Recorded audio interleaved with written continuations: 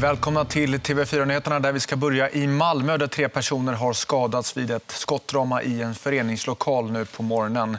Två av dem är allvarligt skadade. En person ska ha öppnat eld inne i lokalen där uppemot 100 personer befann sig. Kaos utbröt när människorna tog sig ut från lokalen, rapporterar Sydsvenskan.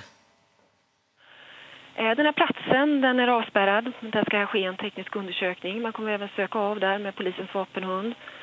Det här är initialt så vi arbetar med informationsinhämtning på platsen och som förhör med eventuella vittnen.